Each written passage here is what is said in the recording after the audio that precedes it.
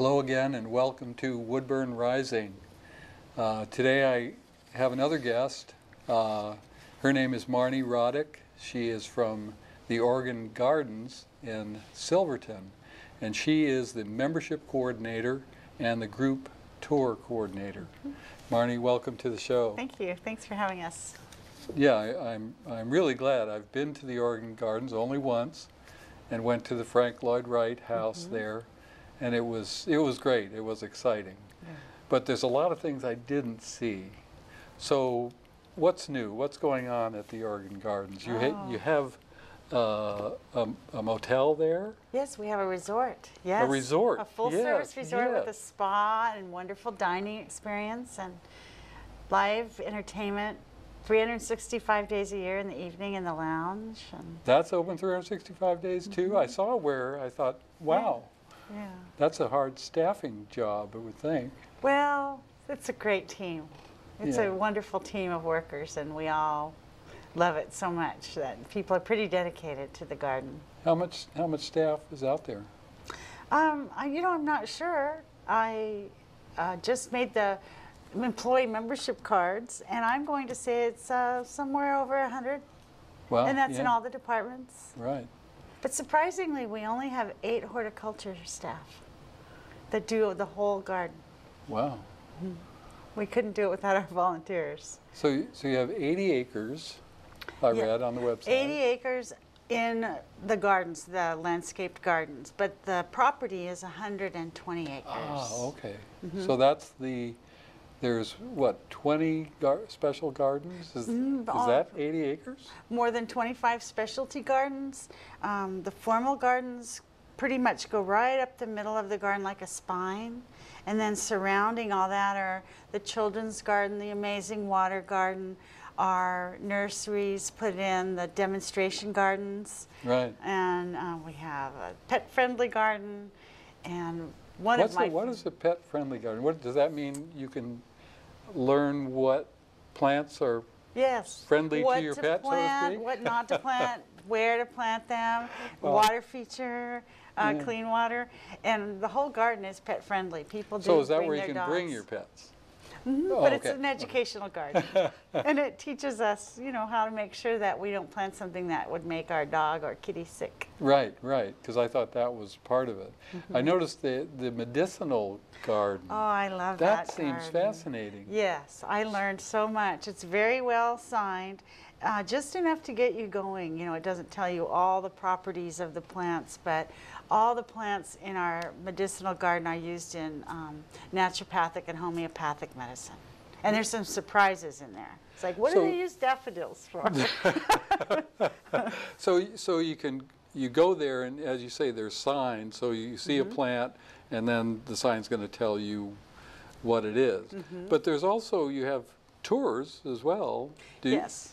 Um, April through uh, the end of October, and for special groups throughout the year, we do have a couple of operating uh, transportation systems, a little open air trolley and a tram. Wow. And uh, we have. Yeah, 80 acres, I guess you'd need something. Yes, if you Get go around the around. perimeter of the, the gardens, it's about a mile and a half. And it takes about a half hour, and it's a narrated tram tour, Mm. and it kind of orients people so that then they can go back to the visitors, visitors, visitor center and go to, to the map and see which gardens they really don't want to miss. Right. Because it takes a day, I think, it takes all day to really see everything. Well, you brought some, uh, a couple of pictures, Mm-hmm. and I'll hold them up, and I think we have an early in, in the development process, and then one a little bit later. So if you can kind of point out what's going on in, in these, that would be, Well, this one is in 2001. I think a lot of your viewers are our members. Uh, people were real excited about a garden, a botanical garden of this quality coming to the backyard of Woodburn. So a lot of people came out and uh, to the groundbreaking. Ah, this w- that was in the 90s. This was uh, 2001 when we first uh, So this, opened when, this was the official groundbreaking in 2001? Well, this you isn't the groundbreaking, this is the opening. Okay. Because okay. there was a lot of time between the groundbreaking and it went till it got to this stage Ah. to get all the hardscape in and but the interesting thing about this picture is these this is the pond system. We were the first garden in the United States and I- I've heard the world, um, but definitely the United States, to irrigate the botanical garden out of reclaimed uh, and treated wastewater. Uh-huh. So it's a real collaboration with the city of Silverton. On this hillside, we have 25 ponds.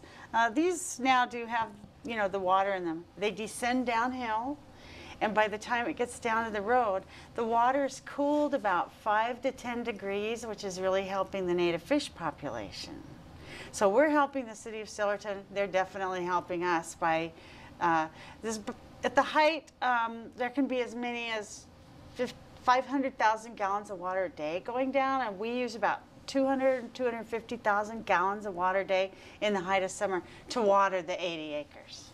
So is there, is there a stream close by or? Well, the or water's it- pumped up about a mile from the city of Silverton. It comes into pond number one, and then it just flows down. And um, there's some, there's a wonderful little rustic nature trail all through the wetland. This is called the Amazing Water Garden. The kids love it because there's tadpoles and frogs and So big that- koi. that's what you mean by fish and, Yeah. so, yeah, yeah. So, and this doesn't have our visitor center and our education building. Our, this is our parking lot, which is still, of course, there. Right here, we have our visitor center. Right here, we have an education building. And originally, the 120 acre hillside was owned by a family who raised Arabian horses. Hmm. So the hillside was there and it was pretty bare because they used it for pasture land and riding. So it wasn't completely overrun with Himalayan blackberry and Scotch broom. Right, it was right. pretty bare. Um, and So- it didn't have a lot of trees on it, so all the trees we have planted. Well, we're, in the next picture, we're gonna see a lot of trees. Yeah, well, the So- oak trees, that's a different. So what are, what are, what are these? uh, Oh, this is one. Okay, this is the original. This is now our grand hall, our pavilion where we have all kinds of events all year long for the community, wedding receptions, big training sessions. So you can rent things out? You can rent it, yeah, and people yeah. use it all the time. Weddings and that sort of. But it used to be the barn that housed the Arabian Oh, horses. Yes, right. Um, the original house is kind of in the shadows, hard to see, but the formal gardens kind of go right up the center here. This is now where our resort is, right up here with a beautiful view. That next picture gonna show the, Yes, those things? Okay, yes, it okay. will. So what are, what are all these This is the bosque, and bosque is a Spanish word uh, meaning grove or a group of gathering of trees. Okay, And it's a formal, very formal garden, a lot of weddings in there. These are reflecting ponds, and it's beautiful all year long, but in the fall, it's a canopy, you're just surrounded with so these are trees in kind of raised planting Yes. spots? or- Okay, okay. Yeah, I think there's uh, 24 of them, if I'm not mistaken, and they're Pacific sunset maples, which is a type of maple that was developed by one of our nurserymen in the Gresham area quite few years ago. Hmm, and wow. he designed it to have every shade of the sunset. So there's from pale yellow to the deep, deep red, and they're magnificent trees. So when, do- when does those colors come out? Oh, September, October. Yeah. Yeah, it was stunning this year. So what's, what's this here? Oh, that's the children's garden. And that's back in the days before it's it's now very well grown up. This is our axis garden and we plant our we grow our own plants and propagate from seed and propagation in our greenhouses. And we do between 40 and 50,000 annuals every year. And most of them are clustered right in through here. It's it's amazing. Of course, they So can you buy, buy plants here? or- oh. Yes, okay. the visitor center, which we can see in our next picture, has a little nursery next to it. Ah, Yeah. so what's, what's this? It's Some oh, kind of I design love or? that. Yes, it's a very formal garden. It has a box hedge, and then we plant thousands of annuals in it, and that's the rose fountain. Ah, yeah. So it's that's really pretty in the summertime. time for the next one? Yeah, let's, Okay. What a difference. yes. What a difference there. 10 years will make. Ah, 10 years, yeah. Now, this is a different perspective, so your viewers will have to kind of take a No, minute. there- yeah, This is looking west, um, kind of almost due west, west is off this way. This is an oak grove. These are uh, native Oregon white oaks, and they're about 200 years old. I was going to say, those didn't grow in 10 years. No, yeah, they've been there a long time. Right. And there's one signature oak. Uh, well, I think this is him right over here, if I'm Yeah, not yeah. mistaken. He's 400 years old. It's one of our Oregon heritage trees, so it's protected by the state of Oregon. And it's a very gnarly, crumply looking guy. It's it's a beautiful place. We have bees down here in our meadow, and your viewers might want to know that in the next well, actually today I saw daffodils. I've been watching them. Mm-hmm. Yeah, they've but been today they're right. full bloom. Oh, This wow. hillside- You're ahead of mine on. I yeah, I was shocked when I saw them. But this hillside with the oaks is covered with thousands of daffodils, and you know, like Wow. late February. They went into April last year because I started April 1st, and they were just a riot of daffodils. Sounds beautiful. Yeah, it is. Here's that barn, which we now use as an event center. So where's the things we didn't see? Well, Can one of my favorites is the market garden, which is Over here? Yes, that also has a lot of weddings. Um, we have a woman who manages our horticulturists divided up, kind of according to their passion. Really, she has 15 acres that she manages in that neck of the woods, and uh, we grow tons of food.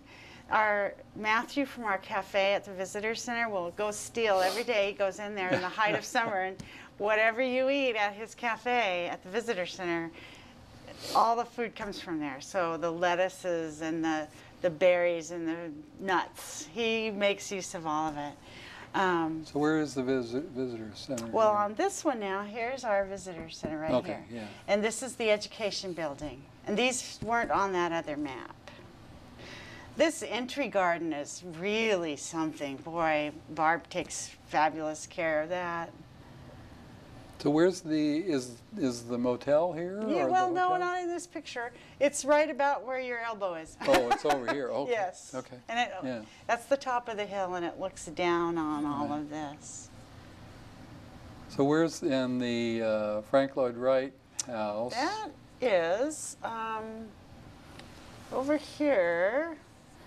Let's see, back. It's it's off. It's right here. Okay. You can't really Yeah, see it, Yeah.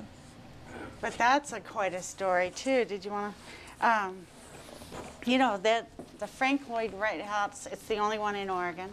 And it's called the Gordon House because the the Gordon family commissioned it Get positioned around here again? Yes, and uh, it was set for demolition. They had it situated on the Willamette River with a view to the east of Mount Hood, perfectly centered, like Frank Right. Lloyd Wright would do. And it- then the river was right there. It was just an idyllic setting. When they sold their property, I think it was 15 acres, but don't quote me on that. um, they, the family didn't want the house and didn't, so they were just going to demolish it. And the Frank Right. Lloyd Wright Society said no. Right. so they really hustled to move it. And So that took a lot of effort and money. You really took the whole thing apart or? I, yeah. I don't know how they did it. Yeah. But you took Numbered the all the tour. pieces, right. yes. Yes. And the docents are so dedicated Yeah. and wonderful. I learned a lot. Well, it's um, really fun to see that house. And, Yes. Yeah. He thought of everything. If you're any fan of architecture at all and of Frank Lloyd Wright, it's Mm-hmm. really wonderful. And I thought, in Silverton? Gee, amazing. how did how did this garden, which uh, has a lot of support and, and has changed through the years, Mm-hmm. and one of the, uh, I wasn't it originally like going to go to Salem or something, or Well, the Oregon But how did it end Association of Nurseries. Silverton, It's a which is- great story. yeah. Um, this the idea was 50 years old. The Oregon Association of Nurseries, which back then was nurserymen, um, they talked about doing a botanical garden to showcase because agriculture is our number one industry in Oregon, and the agriculture portion, nursery industry, is psh, a huge. If you saw a pie chart, it's the big Yes, chunk. right. So they really wanted to um, showcase and and be like Butchart Gardens up in Victoria, Mm-hmm. Uh, which is a venerable garden that's been around for over 100 years. That was their dream.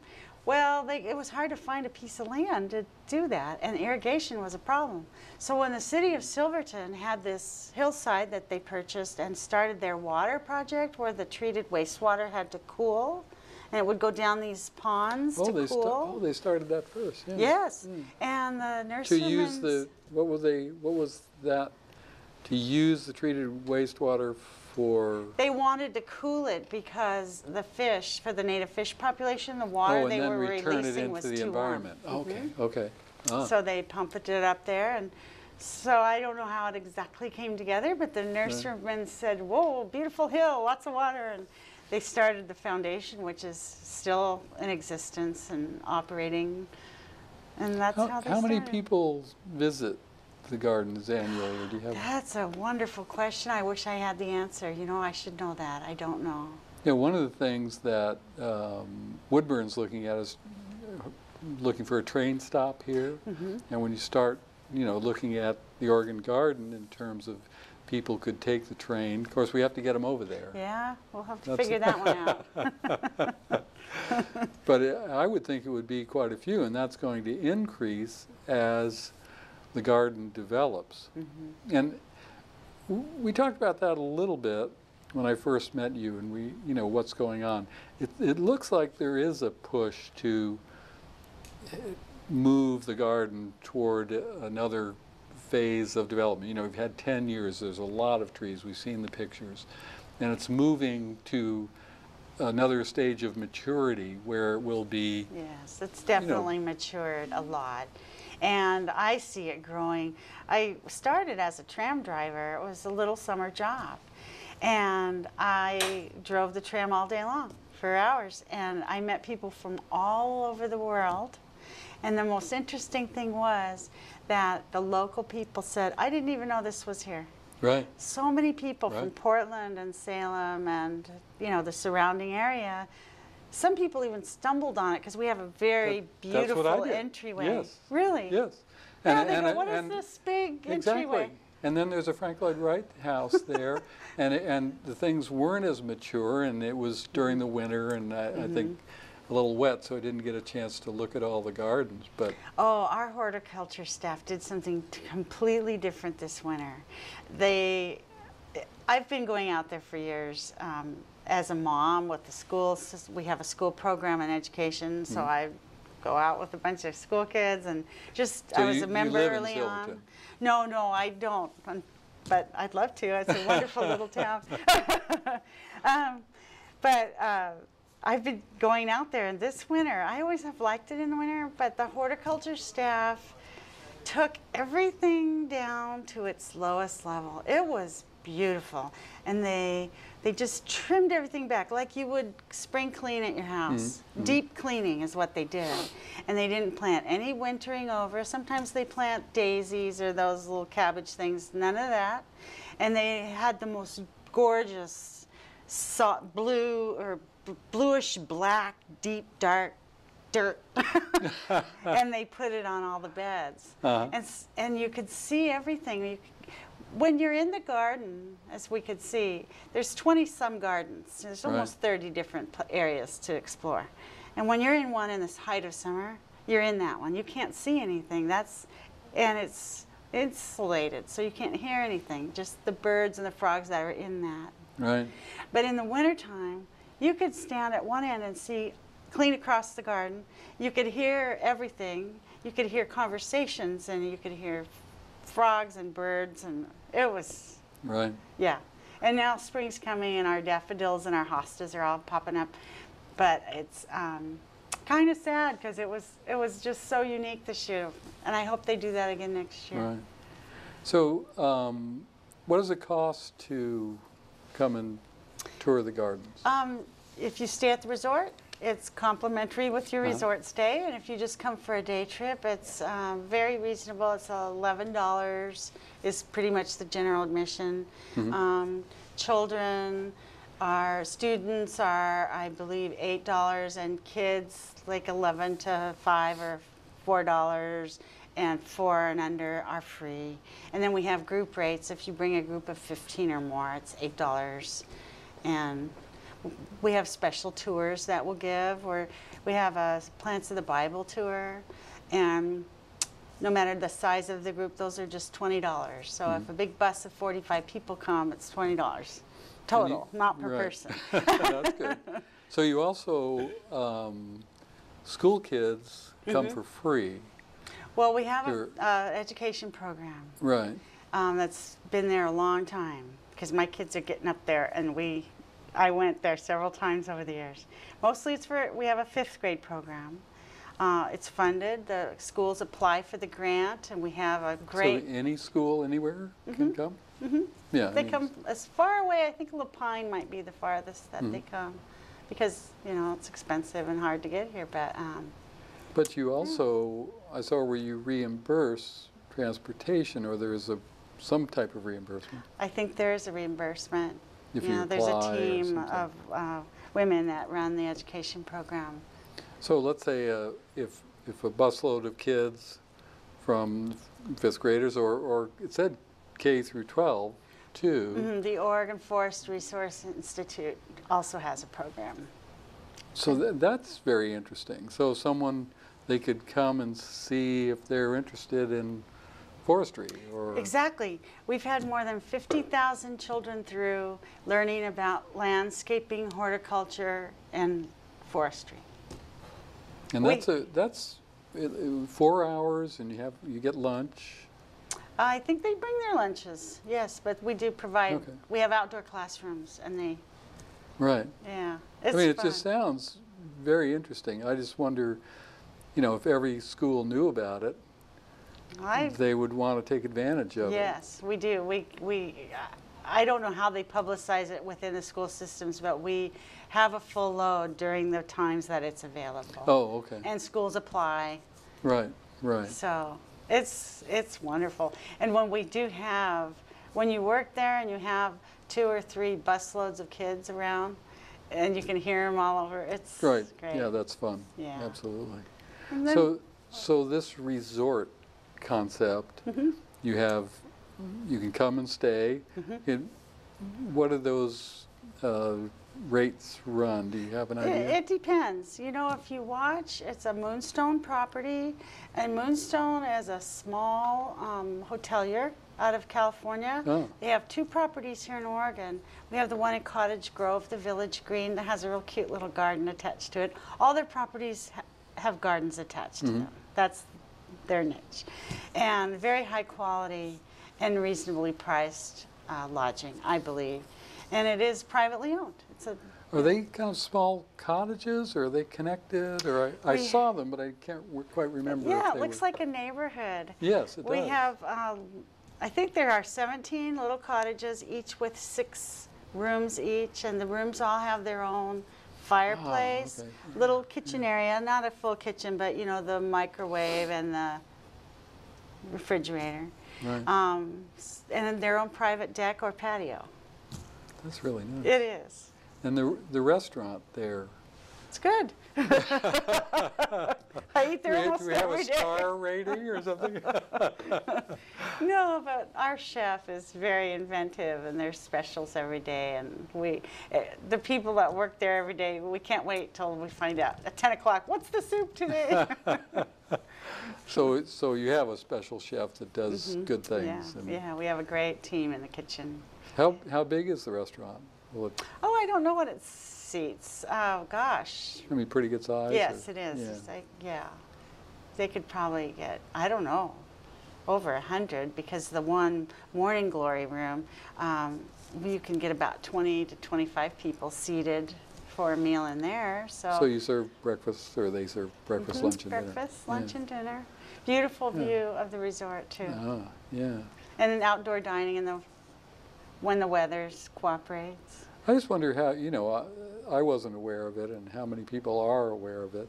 So, I mean, that, you're the coordinator, membership, groups. what about just marketing from that? Oh, we have a wonderful marketing team, and they, uh, the events and marketing staff work very close together. And we do, we just added the new Christmas this year. We had Ah. Christmas in the garden. Um, So getting one of those rooms at one of these times probably be difficult. on weekends during an event, yes, you have to plan ahead. Yeah, right, but not always. You know, people call and cancel. Right. Um, but we have our Brew Fest is our next big event coming up. We just had our quilt show, which was wonderful. And I um, had some groups, so I Is drove this, the in, is tram. this in the barn where you keep it Yeah, inside? in the pavilion, yeah. Pavilion, sorry. and we retrofitted the barn. It used to be barn, but you can still see where I the like stables and the stalls and the tack Uh, rooms. We left, you know, the sliding doors and the rustic Right. wood. It's Good. yeah, it's a really nice space, an event space.